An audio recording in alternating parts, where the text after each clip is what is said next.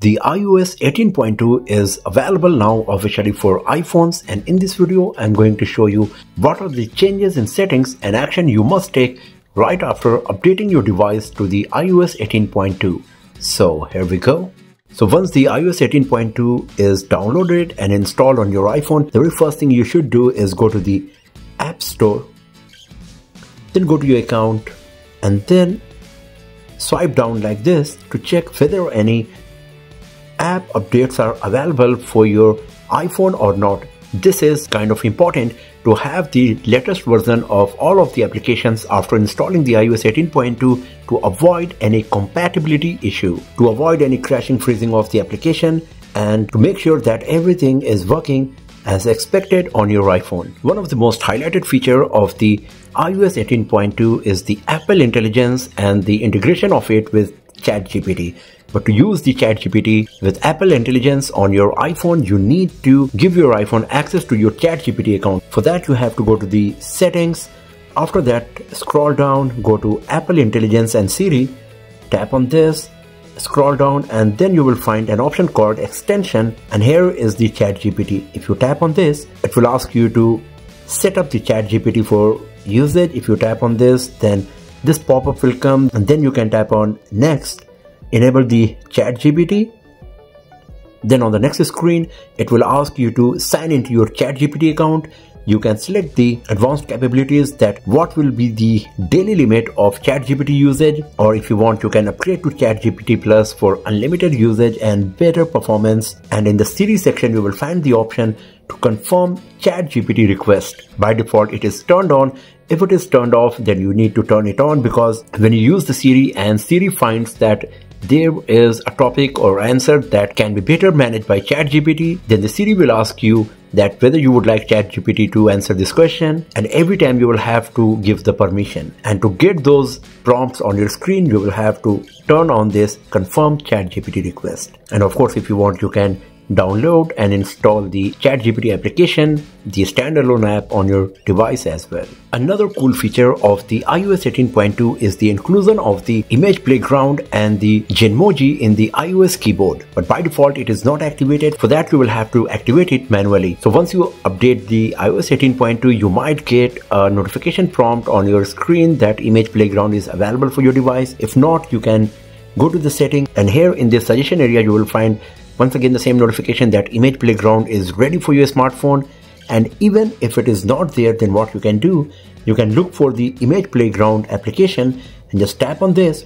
It will give you some prompt that accept the terms and condition or whatever some information that how the app works. And after that it will be activated and you can start using it I have made a dedicated video and how to guide that how you can use the image playground and the new Genmoji feature on your iOS 18.2 powered devices. So if you're interested in knowing more about the image playground and how to use it perfectly, then you can visit the link given in the description of this video or you can click the link appearing at the top right corner of the screen. Apple has now added the volume scrub feature on the lock screen media player but by default it is also turned off. So you have to go to the settings to activate it. So just go to the settings. After that scroll down go to the accessibility. Scroll down go to the audio and visual tap on that. And here you will find an option called always show volume control. As you can see by default it is turned off. So tap on this slider.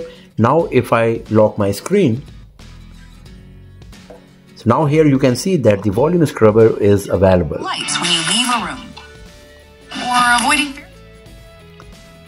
And if you turn it off, then this volume scrubber will disappear. So once again you have to activate this from the setting to get the benefit of this feature. And one new feature added in the iOS 18.2 is the visual intelligence. It is only available for the iPhone 16 and iPhone 16 Pro series smartphones that come with this dedicated button for camera control. So if you press and hold the camera control then this screen will appear that talks about the visual intelligence with the camera control button. Visual intelligence captures the images using the camera and then the Apple Intelligence analyzes the information on that picture and provides you relevant information just like we have seen on the Google Lens and some custom applications from some other smartphone brands.